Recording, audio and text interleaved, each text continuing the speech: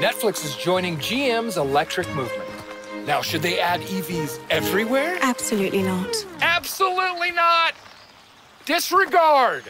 Not gonna do it. Get this thing out of here.